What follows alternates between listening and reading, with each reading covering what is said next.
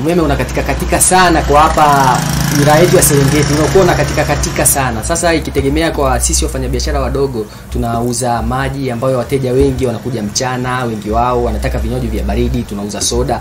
Sasa tunapata changamoto kubwa sana, kwa sababu umeme unapokatika katika, mteja anapofika hawezi akapata tena maji ya baridi, hawezi akapata juisi za baridi. Kwa hiyo tunapoteza wateja na tunapoteza hela. Kwa hiyo tulikuwa tunaomba tu kwamba TANESCO wa, waweke mipango sawa, mikakati sawa ili waweze kuweka mambo sawa. Ili na sisi wafanyabiashara tuweze kujikwamua at least kidogo. Kwa sababu umeme unavyokatika katika hivi tunashindwa kuingiza zile hela ambazo tulikuwa tunatakiwa tuingize na mwisho wa siku tunatakiwa tulipe mapato, tufanye nini? Kwa hiyo tunawaomba sana TANESCO wilaya nzima Serengeti watusaidie kwa jambo hili katika katika kwa umeme kuna tuathiri sana sisi wafanyabiashara wadogo. Ningependa kuambia kwamba changamoto ya umeme sana Buni Serengeti imekuwa mbaya sana, sio si imekuwa ngumu sana kibiashara. Kama hiyo ofisi yangu mimi hapa, ninachotegemea kuvuna kutoka hapa napata kwa wakati kama huu, nikiwa na wateja hivi, napata umeme kama umekata ghafla hivi, kwaona kwa nimelaza kazi. Hii kazi yetu inatumia mara nyingi sana umeme, na asilimia kubwa, kiasi kikubwa ni umeme. Na umeme, katika umeme mteja anapokuja na flash yake, flash inatofautiana, umeme unakata kwa muda huo, nimeshachomeka flash, flash muda huo inakufa, au inaweza ikawa imekufa, inaenda anapata tena hasara nyingine tena kufanyaje ya kununua flash ya mteja. Kwa hiyo changamoto kubwa kabisa, umeme unapokuwa unakata, afadhali kidogo angalau ungekuwa unatoa taarifa za umeme, kama kuna tatizo la umeme wanatoa taarifa kwenye kuhusu wanatangazia nini na nini, tunaelewa. Lakini sasa hapo sisi tunapo kwa kazi zetu hizi kipato pia ni kidogo, tunapolipa flash ya mteja na mwingine tena akija hivyo hivyo, na maana tunajituka tu tuko tumeenda sala kabisa. Mema umekuwa ni wakuja, unarudi, unakata, umeshaunguza baadhi ya vitu vifaa vyetu, kwa vile unavyokuja tunawasha, unakata, ukae dakika kadhaa, unakata. Kwa hiyo swala la umeme limekuwa ni changamoto, ni changamoto, ni changamoto ambayo ni kubwa. Kazi zetu nyingi zinategemea umeme. Kwa kweli imekuwa ni changamoto ambayo ni kubwa kwetu, aa, na iangaliwe kwa jicho ambalo linaweza likasaidia, hata kama sio kwa kumaliza, basi kwa kupunguza, ili tuone ni jinsi gani ambavyo tunaweza tukalimaliza swala hili. Serengeti inapokea umeme kutoka vituo viwili kutoka kituo cha Bunda na kutoka kituo cha Msoma. Kutoka kituo cha Bunda tunapitia uh, njia ya umeme ya mgumu, yaani fida, na kutoka Msoma tunapita njia umeme ya Tarime, yani Tarime fida.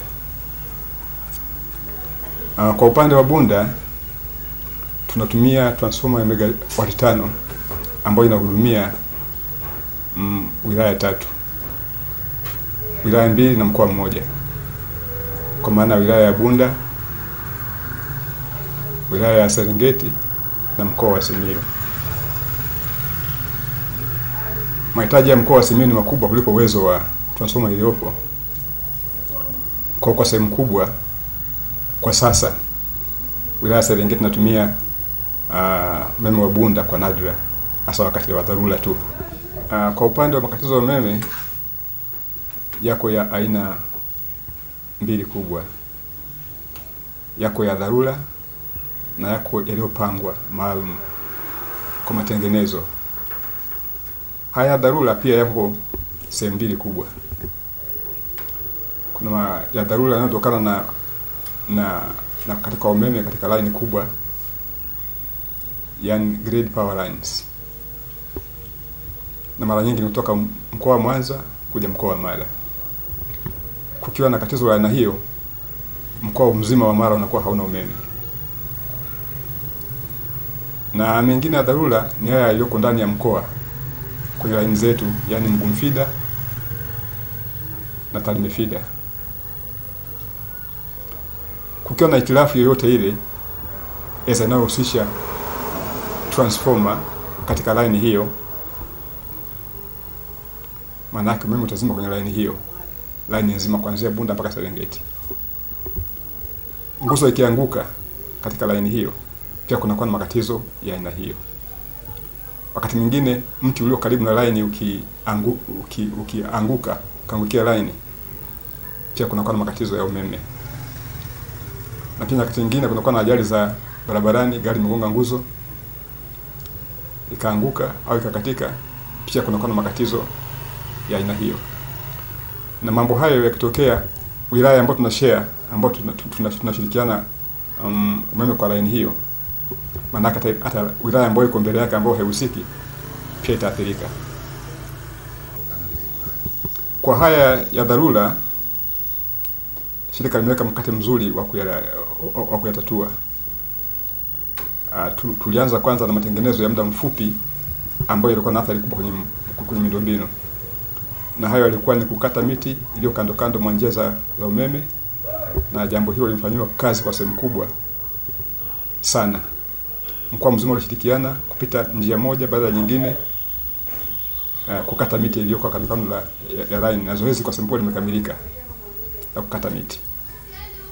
Baada ya zoezi hilo la muda mfupi, kwa sasa hivi tunaendelea kubadilisha nguzo mbovu katika maeneo ambayo ni hatarishi zaidi, hasa maeneo ya mito, makorongo, majaruba, maeneo ya mijini, na kazi inaendelea vizuri, na kwa sehemu kubwa tumefikia hatua nzuri. Yamkini ndani ya mwezi huu wa nne tutakamilisha zoezi la kuelekea nguzo- mbovu katika miundombinu yetu. Jinsi miundombinu yetu ilivyo, umeme ukikatika, sio rahisi kujua shida imetokea imetokea wapi. Kwa mfano, ikitokea nguzo imeanguka katika line za wilaya ya Serengeti, ili kubaini eneo husika, kama sijapigiwa simu na mwananchi wa eneo hilo, maanake nitaanza kutoa switch moja moja ya njia moja baada ya nyingine, ili kubaini shida iko eneo gani. Nitazima upande wa pili, nitaomba kibali kwa mtu wa substation awashe umeme kwa mara nyingine.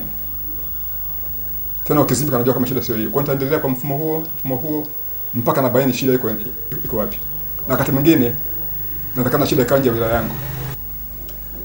Na Baada ya kuona changamoto hii ya kutegemea umeme kutoka wilaya nyingine ni kubwa kwa wilaya yetu, tofauti na wilaya nyingine, uh, tuliliomba shirika litusaidie kupata line ya kujitegemea, na bahati nzuri shirika limeridhia maombi yetu katika bajeti ya mwaka ujao wa fedha, yani ishirini na mbili ishirini na tatu tumetengewa bajeti ya kujenga line ya kujitegemea kutoka kituo cha Memungo kuja wilaya ya Serengeti. Tunaamini ya kwamba ujenzi huu kukamilika, basi shida ya matatizo ya mara kwa mara ita- itapungua sana au itaisha kabisa. E, kwanza ni napenda kuwashukuru wananchi wa Serengeti, wateja na wadau mbalimbali wa huduma za Serengeti kwa kutuvumilia.